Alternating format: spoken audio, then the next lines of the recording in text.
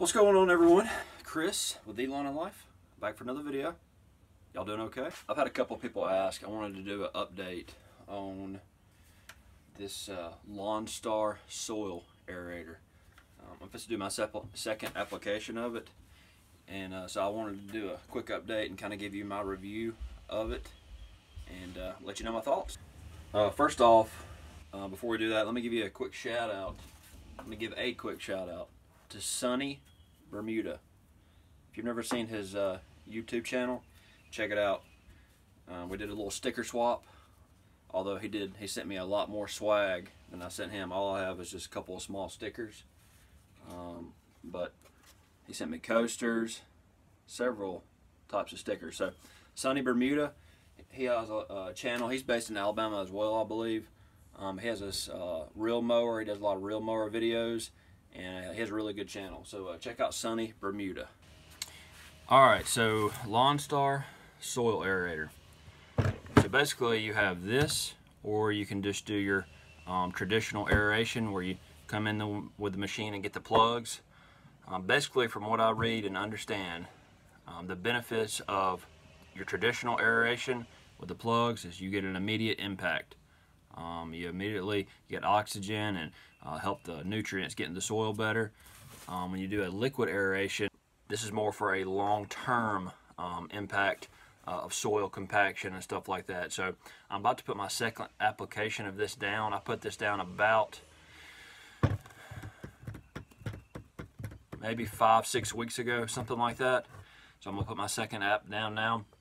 I wanna go show you um, kind of where I'm at with um, the screwdriver test and we'll see how the compaction has been, uh, how much it's improved, and just let you know my thoughts on it. Okay, so just get you a screwdriver. Any screwdriver will work. This one is about six inches long. Six inches is plenty long enough, I've been told. So I did this about five, six weeks ago. And let's see what you do is push down and it, it takes a little bit of uh, force but not much it's a whole lot better than it was before. That right there is not as easy though. Let's see right here. So it goes about four inches down without me hardly having to push but once it gets to you know five and six it's a little bit tougher. This area about five, six weeks ago, I was only getting about two inches, two and a half, three inches down, and it was stopping due to compaction and just, you know, whatever's in the soil. So it is getting better. Now let's go check an area over on the front yard. Like this, I got a couple areas that are slower to grow in every year, so I really have put it down here. Let's see how this does see it's still a lot harder in some of the spots over here it doesn't go as far try up here in this area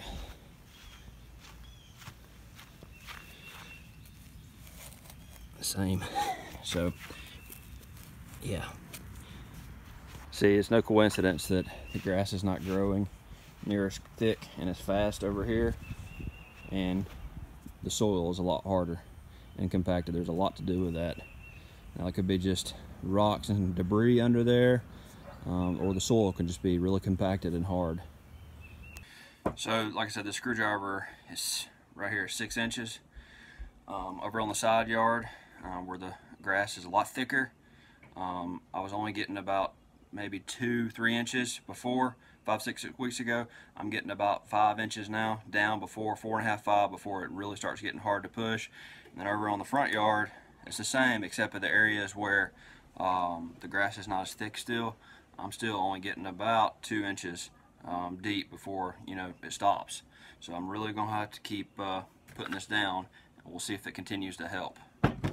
So I would say overall, this uh, Lawnstar Soil Aerator has definitely helped. What the heck is going on here? has definitely helped. Um, so I'm gonna keep putting it down. Um, so we're supposed to do the second application now. Just a quick reminder um, for pump sprayers, um, you do one ounce per gallon of water um, and then you spread it evenly across a thousand square feet. Um, then you're gonna water it in for about 20 to 30 minutes and then avoid trying to do it in the afternoon. Try to do it before 10 a.m. Um, is what we're doing now, or after 5 p.m. Um, to decrease the chance of evaporation. So try to avoid doing it in the afternoon when it's really hot. Um, so let's put the second application down.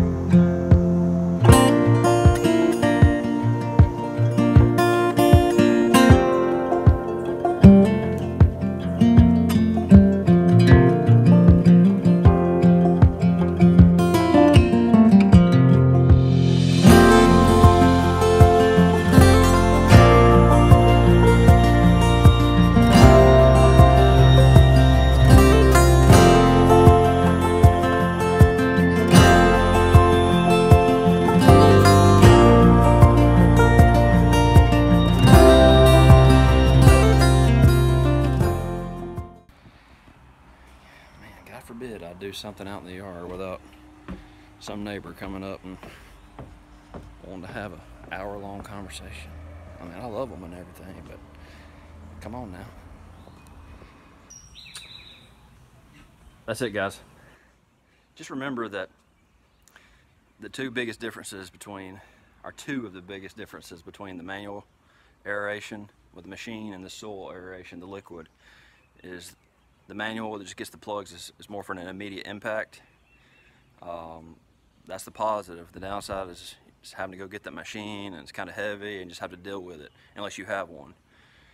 This, you buy it and this will last me probably all season. And it's for a long-term benefit of your soil um, for the compaction and helping nutrients and oxygen and moisture and everything get down in your soil. So that's two of the biggest differences. So I appreciate you watching. This was Chris with The Lawn and Life. Don't forget to subscribe, drop a comment, give me a thumbs up, give me a thumbs down if you like or dislike the video. Appreciate you watching, guys. Um, hey, hey.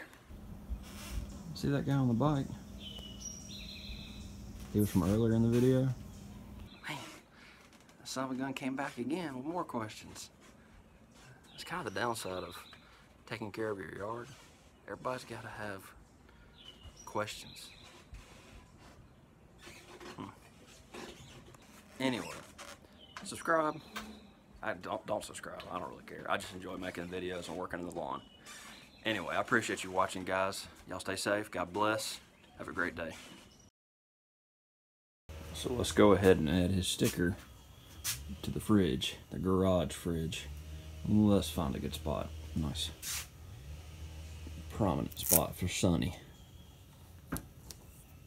I'll link his page, uh, his YouTube page, in the, uh, the description below. Does anybody else do this? I know everybody has a spot. Kind of put mine on the fridge from different stickers and stuff. We got the Lawn Rebel, got his Pisser Offer sticker, and just other pages and stuff that I like. Just different brands, Milorganite.